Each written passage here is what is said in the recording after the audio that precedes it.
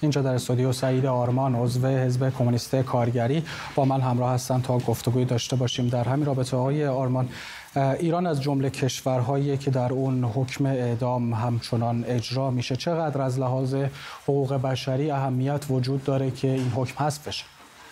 اولا عضو حزب کمونیست کارگری ایران خطی حکمتی هستم.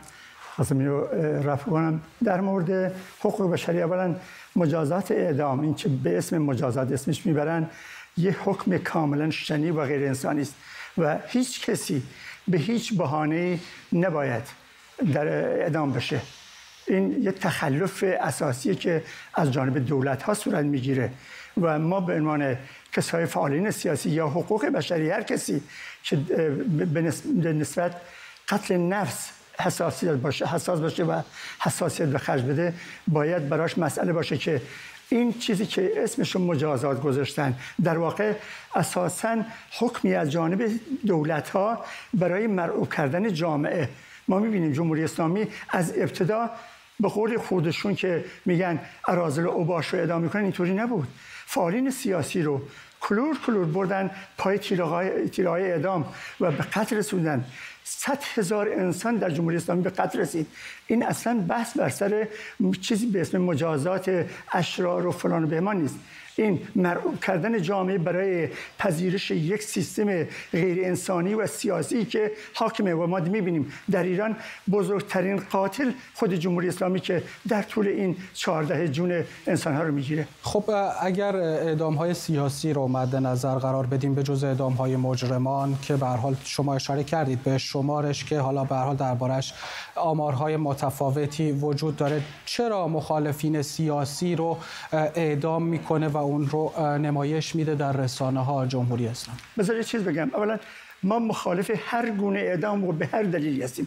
صرفا مخالفین اعدام زندانیان سیاسی نیستیم. حکومتی که بخواد اعدام رو پیش بکنه قطعا این شطور در خونه همه میخوابه. و کمان که ما می‌بینیم. نهید افکاری کارگر مبارزی بود. چرا اعدام شد؟ بهانه قتل براش تراشیدن و خیلی دیگه. ستاره بهشتی.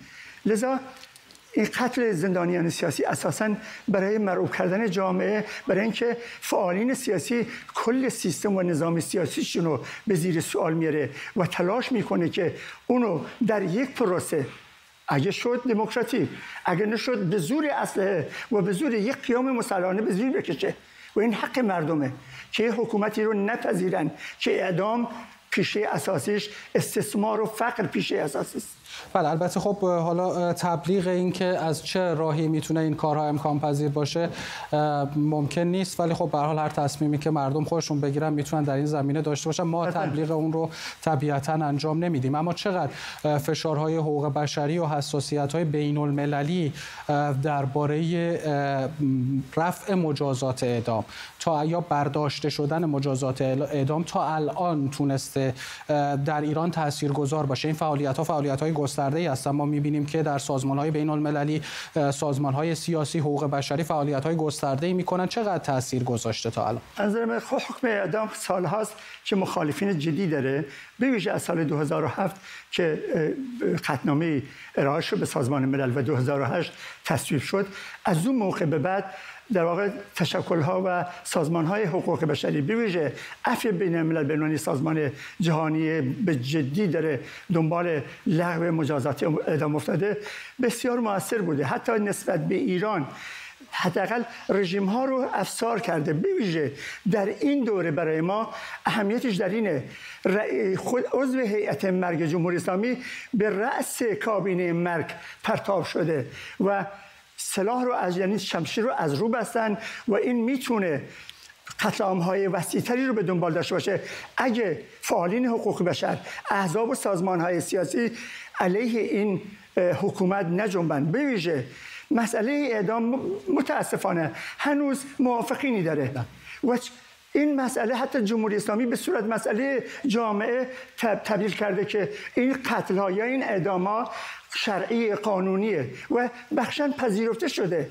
و ما خطابمون به مردم اینه که این صورت مسئله رو از رژیم نپذیرن.